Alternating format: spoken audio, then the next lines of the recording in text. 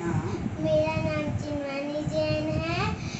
मेरे पापा का नाम वैभव कुमार जैन है। हम लोग जिला सिवनी झूला सिवनी में रहते हैं और मैं सेवन इयर्स ओल्ड की हूँ। मैं आज आपको महावीर भगवान का एक डांस करके बताने वाली हूँ। Thank you